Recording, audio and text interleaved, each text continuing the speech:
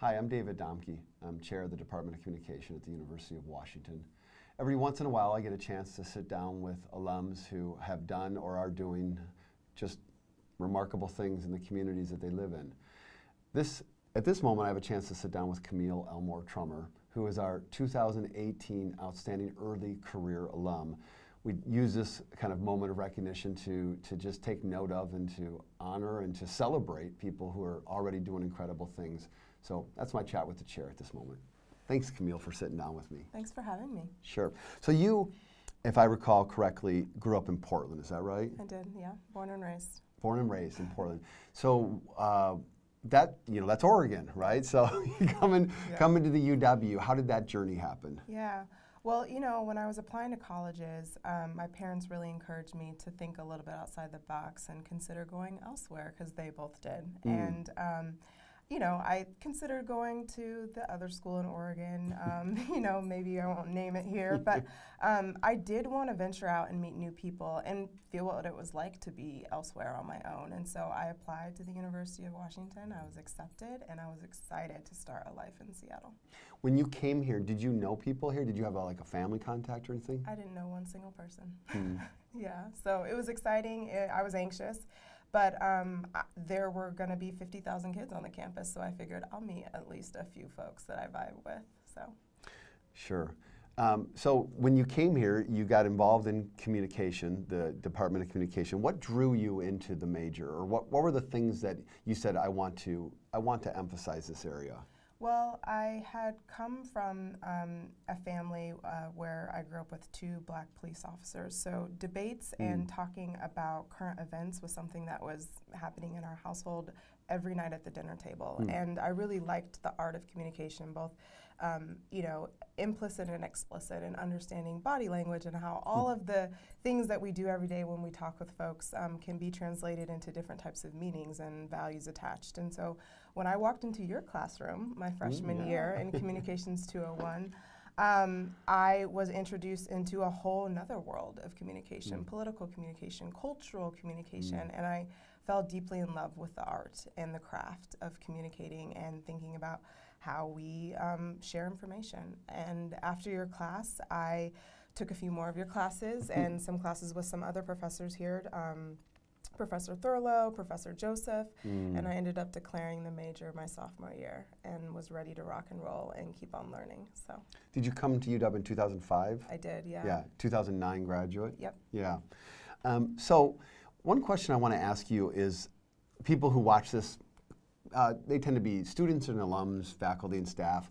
So, thinking about a potential student who might be watching this, mm -hmm. is there something that, um, anything that you might recall or think of that occurs shortly after you graduate, and it's either something you make happen or something that you just kind of step into that becomes influential upon you for who you've who you further become professionally and personally. Yeah, I think one thing that I learned, and maybe it was influenced by the perspectives and opinions of others, is that communication is a field in which you can apply to many different sectors. Mm. And I thought if I studied communication, perhaps I can only be a journalist or um, I can only be a communications specialist in an administrative role or um, in the nonprofit world. But what I've learned is that you can apply communication to many different fields.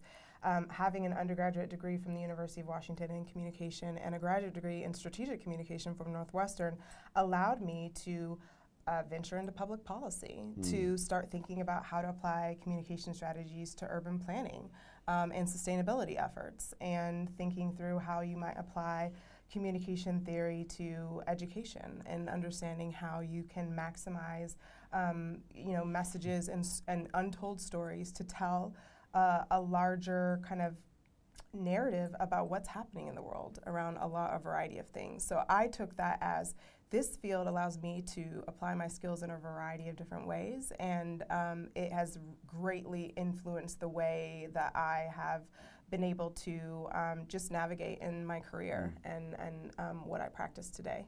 So that's a broader conception than you think you might have had necessarily when you were in school here? Absolutely, absolutely. Uh -huh. Yeah. yeah. When was there ever a moment when you were in college where you you had to justify or explain your major to your parents? Absolutely. Not only to my parents, but to my friends. A lot of folks were like, well, what do you even do in the field of communication? And it's like, well, usually we help you clarify what you mean when Yeah, you say yeah, the things yeah. you say.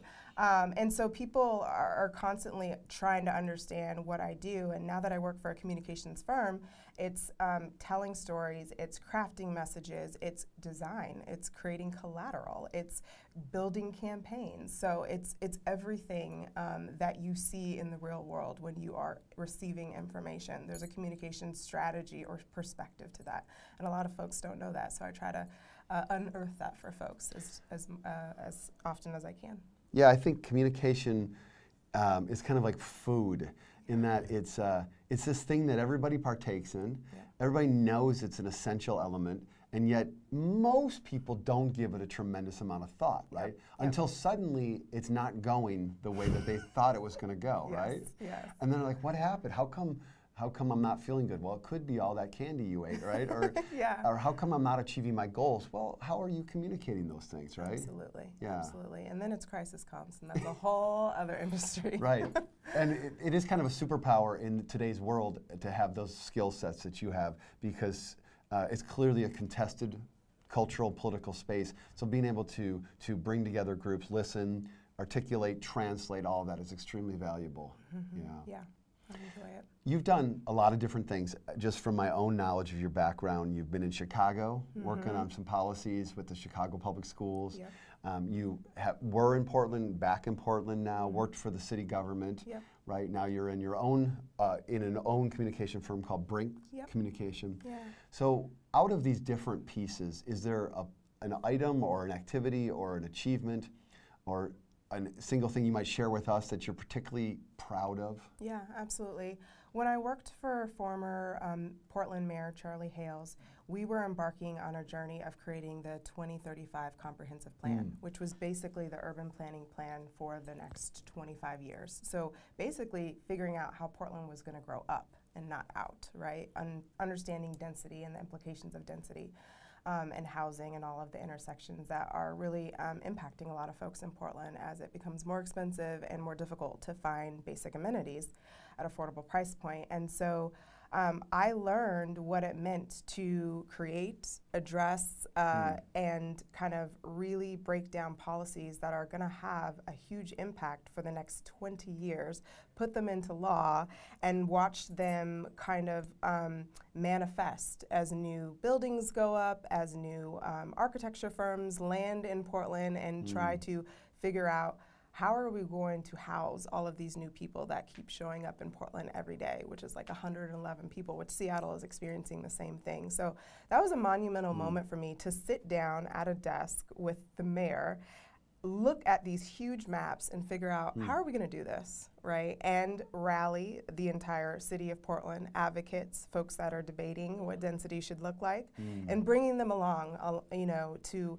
um, not necessarily a consensus, but but a place where we can say this feels good. This feels like it might work, and if it doesn't work, we should come back to the table to figure out what type of revisions we can make in the future. But for now, we have a plan, and we can all rally around it for the most part. So that was huge for me because I don't come from an urban planning background. Yeah. Obviously, I come from a communication background, but it's also about crafting a message that allows folks to understand what it is we're doing and why it matters. So, Yeah, that sounds that sounds overwhelming, but also exciting, Yep. and um, and certainly something to be proud about. Yeah. yeah, Um, now you left that kind of. Eventually, you moved from that kind of a job with Yeah. City Hall, working in the administration for the mayor, right? yep. To to work in the private sector, right? Yep. Wha- so how come? What was the, what was the drive there? Yeah, it was a hard decision. I had worked in nonprofit um, my entire career. And then um, I got approached from one of the uh, partners at Brink Communication about considering to jump into what I call the dark side, the private world. And I was apprehensive because I didn't know what to expect. And I wanted to make sure that whatever work that I did, it was going to be positively impacting the communities that I serve. And so Brink is at, nestled in this really great space of Um, working at the intersections of urban innovation, public health, and racial and social justice, but Mm. applying a communications lens, a strategic lens to all of their work, and helping companies and organizations make good on their commitments to improve our communities. And so I thought, I can do that. that sounds like a great space. So I've been there for over a year, and it's been a really wild and fun ride. Hmm. Yeah. So let's, uh, to kind of, as we begin to wind down this, this, this conversation, think back to when you were here, 2005 to 2009. And if you were 2018 Camille, and you had a chance to talk to 2006, let's say, Camille, um, with all of the knowledge and experiences you have now, what would you tell that version of you? I would tell that version of myself that deep listening, intentional listening, is just as important as communicating. It is an essential ingredient to becoming a better communicator. I do a lot of in community engagement work um, in low income communities, underserved, up, underrepresented uh, communities, and one thing that I find that a lot of us as practitioners do is we come into spaces and we talk, we tell, we instruct, we rarely listen. And I think I would have benefited from having that skill uh, refined a bit when I was uh, a young sophomore at the university. And there was so much information coming at me, and I wanted to, s- you know, respond to all of it every time. And I think I, I, it would have been better if I had just done some deep listening to understand where people are coming from, different perspectives. They all matter. You know, I, uh, I've had the privilege over the last couple of years to spend some time with uh, a great civil rights hero, Dr. Bernard Lafayette. Mm-hmm. And he has a phrase where he says, You have to listen hard enough so that you're changed. Yeah, Right? absolutely.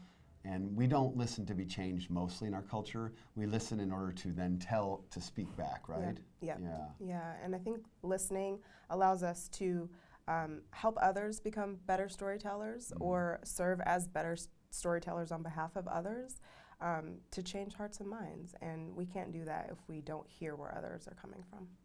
Yeah. So, last question looking out into the future, 10 years from now, um, so 2028, um, I might, I'll just say, you, if you're not holding office somewhere, okay, if you're not serving in some political leadership position, or even if you are, what, what would you hope that people would be saying about you professionally? Like, this is, if you know Camille, you know this, like, this is something she is. Um, I would s- hope that folks would say that I was inclusive, Hmm. that I was um, open to being held accountable, um, and that I was willing to do whatever it takes to make our communities safer, more inclusive, um, more tolerant, um, more space, or creating more space where we can celebrate each other, celebrate our differences. Yeah. Um, I would hope that folks would say that about me because that's what I strive to do, and I'm constantly learning. It's a journey, but that's what I hope folks would say. That's great. Well, we are really honored to, to have you as our 2018 Early Career Outstanding alum. Thank you. It's an honor. Thank you so much for having me. Yeah. I'm David Domke. I'm chair of the Department of Communication at the University of Washington. Just had a great opportunity here to talk with Camille Elmore Trummer, um, our 2018 Outstanding Early Career Alumna. Thank you for joining us.